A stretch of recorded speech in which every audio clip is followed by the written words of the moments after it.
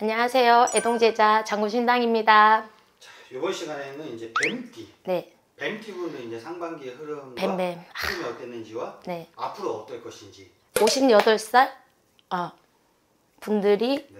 그래도 괜찮았어요. 하반기에도 이분들은 좀 풀어서 어, 나가실 거예요. 돈도 벌 것이고 대인 관계를 좀 조심해야 될 것 같아요. 사람. 네, 좋은 반면에 거래도 성사되고 다 좋은데 구설이 좀 따라오는 것 같아요. 상반기에는 어, 사람과의 싸움도 있었을 것이고 다툼도 많았을 것이라고 봐요. 네. 하반기에도 구설은 따라와요. 음. 따라오는데 그거를 잘 극복해서 구설이랑 네네네.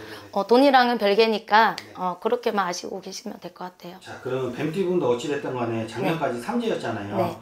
그래도 이제 삼주가 끝나고 새해를 맞이해서 지금 네. 헤쳐나가고 있는 거잖아요. 네.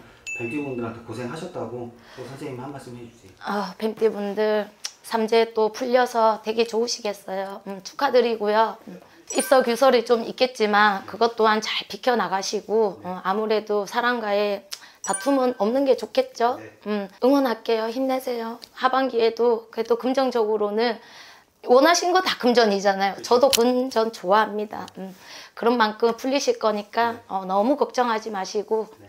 음, 또 우리 내년에 또 봐요. 어, 여기까지 장군신당이었습니다.